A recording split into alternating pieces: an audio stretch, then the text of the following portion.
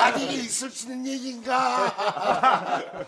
아니 우리 손주 사이가 진정 작가가 된 건가? 예 할아버지. 할아버지.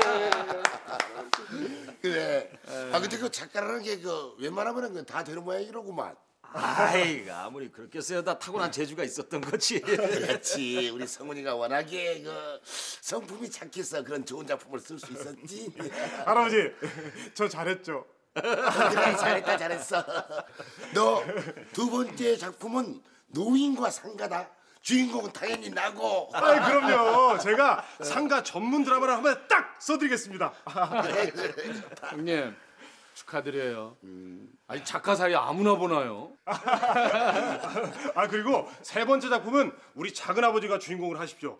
제목은 중년의 춤바람.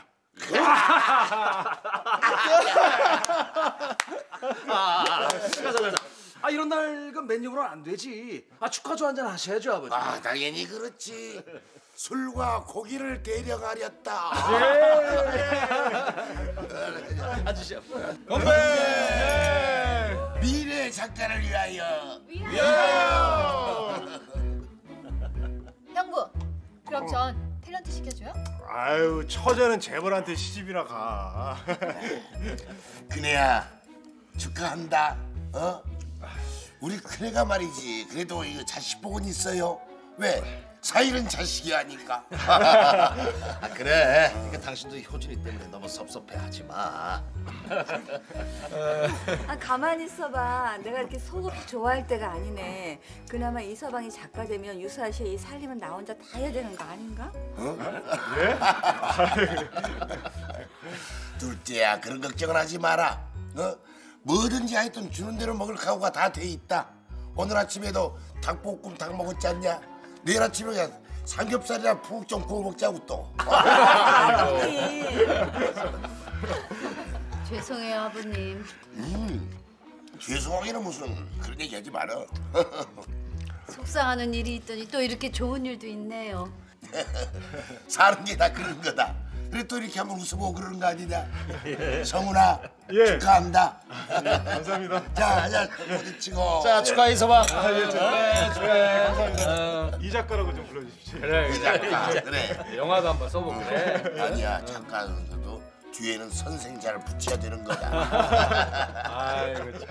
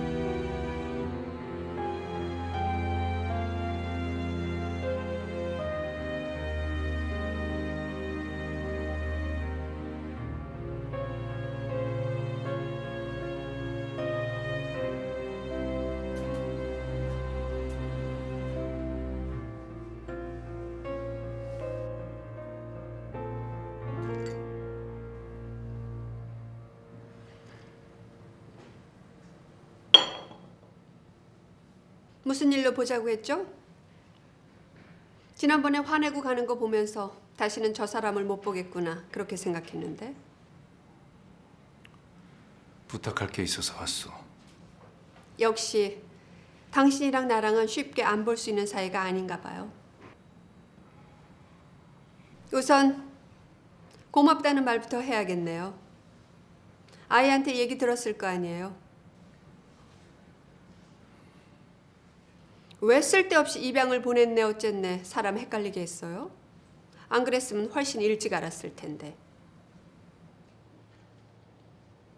어쨌든 고마워요. 그만하면 똑똑하고 쓸만하게 큰 셈이니까.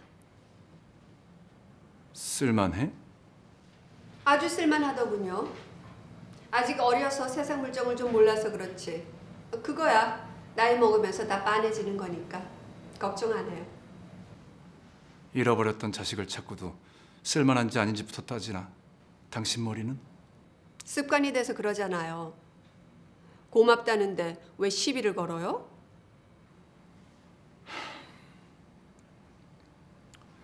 진정으로 고마운가? 그럼요. 나도 애인데 잘 자란 자식을 보면서 고맙지 않을 일이 있겠어요? 내가 왜 그 아이를 키웠다고 생각하지? 그건 묻거나 대답할 필요도 없는 거 아닌가요? 당신을 사랑해서? 영혼까지 종속돼서? 어떻게 말해도 상관없어요. 솔직히 감동받았으니까. 감동받은 김에 부탁을 들어주면 되겠구만. 당신이 아이 엄마라고 나서줘야 될 일이 생겼어. 순정이한테 좋은 훈처가 생겼어. 어떻게 따져도 더 이상 바랄 수 없는 자리야. 시집을 보내면서 출생에 대해서 말하지 않을 수가 없었어.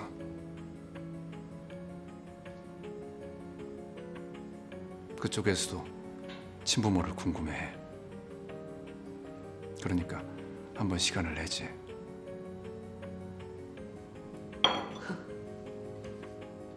그래서 지금 오사라 큰엄마 앞에 내가 박순정이를 낳은 사람이다. 나서란 얘긴가요? 어떻게 알았나? 회사 로비에서 자기 아들한테 시집 오고 싶으면 에비에미를 찾아내라고 난리를 치는 걸 봤으니까. 그 자리에 있었나? 에미로서 아이가 그런 수모를 받는 걸 보고 뭘 느꼈나? 솔직히 기분이 썩 좋진 않았어요. 비밀은 지켜달라고 부탁하면 들어줄 사람들이야. 신랑감 본인, 시아버지, 시어머니 될 사람 세 사람만 만납시다. 이것 봐요, 박현묵 씨. 그 집안은 나랑 사돈될 집안이에요. 두 번 안 보면 그만인 사람들도 아니고 유민수 처가 식구들 앞에서 내 과거를 밝혀내란 얘긴가요?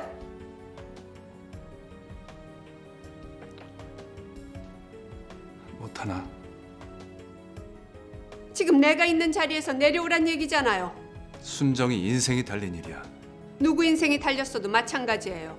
비밀은 지켜달라고 한다니까. 어떻게 믿어요, 그 사람들을?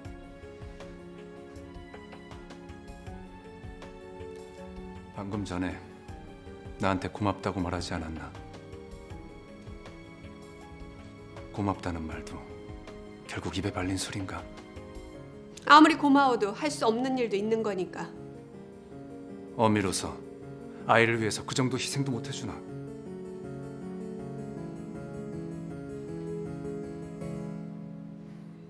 이런 말 내 입으로 하고 싶진 않지만 어느 순간 이후인가 난 그 아이의 행복만 생각하고 살았어. 그건 당신 선택이었고 뭐? 당신이 날 못 잊어서 아이를 키웠는지 어쨌는지는 모르겠지만 그건 당신 선택이었고 난 당신이 지금 부탁하는 그 내용을 들어줄 순 없어요. 차라리 돈을 달라고 하면 성의껏 보상은 해보겠어요. 뭐야? 설마 날 지금의 자리에서 끌어내리는 데 쓰려고 아이를 키운 건 아니겠죠? 정말이지 당신이란 사람 아이의 존재를 이용해서 나한테 복수를 하려고 아이를 고아원에 맡기는 대신 데리고 산 건 아니겠죠? 그걸 지금 말이라고 하나? 그게 아니라면 그 말도 안 되는 부탁은 포기해요. 아이 하나 키웠다고 내가 살아온 시간 전체를 통으로 내놔라. 그건 좀 무례한 부탁 아닌가요? 무례. 당신도 무례라는 말 뜻을 알기는 하나?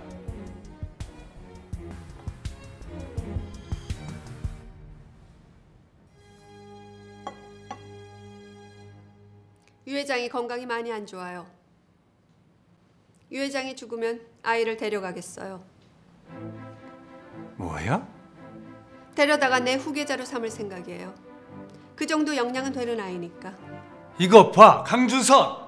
내 자식 내가 데려가겠다는데 당신이 왜 흥분이에요?